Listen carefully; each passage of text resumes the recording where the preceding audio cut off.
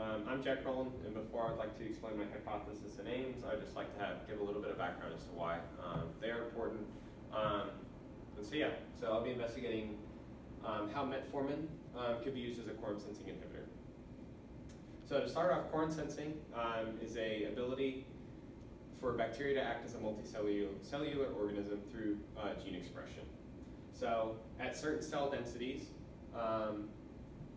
bacteria will produce um, certain proteins. Some of these proteins could be toxins um, or whatever have you. Um, and so, in essence, what it allows bacteria to do is it allows them to be a lot more uh, effective in what they do. And so, if you have uh, one cell that's all alone and it starts producing something, uh, that one cell alone can't do much. But if you have um, a lot of cells together uh, working towards the same thing, then it can actually do some damage to that organism that it's in. And so thus, quorum sensing allows the bacteria to be a lot more um, dangerous and effective. And so here we can kind of see a little bit, um, a quick snapshot of what quorum sensing looks like. You have this LuxI um, that produces this AHL, and AHL will bind to LuxR uh, when a certain density is reached. And so when LuxR has the AHL, it acts as a promoter, um, and then the target genes will be expressed. So it's kind of the gist of what we're talking about. Um, so quorum sensing, quorum sensing inhibition um, is important because we can stop um, this LuxR from producing these target genes. Um, we can take away its, its effectiveness.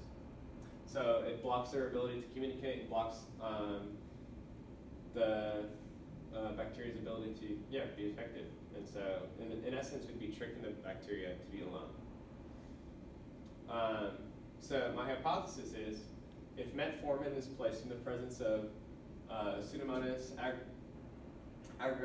then its quorum sensing ability will be inhibited by competitive in inhibition between metformin and autoinducers for the LuxR promoter. Um, two aims of this would be to further explore FDA-approved drugs and their quorum sensing, uh, quorum sense inhibiting ability. Um, and the second aim would be to, to determine how the toxicity of Pseudomonas aeruginosa is changed in the presence of metformin. Um, if we go back to this real fast, uh, metformin um, in this slide, if this was to be introduced anywhere, it would be introduced where the AHL is.